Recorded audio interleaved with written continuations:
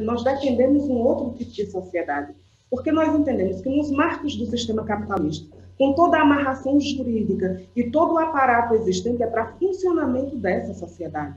Então, não há como a gente responder aos problemas mais graves e mais simples de forma completa nos marcos do sistema capitalista. Para responder isso, inclusive de forma parcial, é preciso que a nossa classe esteja organizada, porque é a ela que nós devemos apelar. Então, os conselhos populares, eles são fundamentais para atender um programa da monta que nós estamos apresentando. E são coisas muito simples, por uma razão que é óbvia.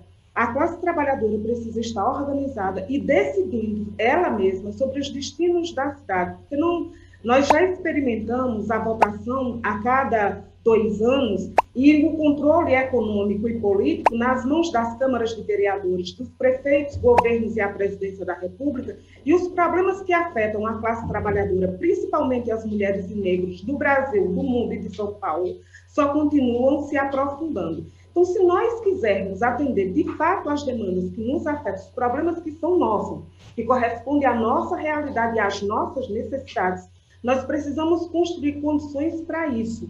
Então, os conselhos populares, eles vêm para responder a essa necessidade. E eles terão um caráter deliberativo, sim, porque nós vamos respeitar as decisões dos conselhos populares. E a Câmara de Vereadores, ela, para ser democrática, ela também deve se sujeitar, porque ela não diz que é a casa do povo, não diz que a vereança é para atender às demandas da população e legislar em favor dela, ela vai ter a oportunidade de fazer isso pela primeira vez em São Paulo, com a classe trabalhadora organizada aos milhões.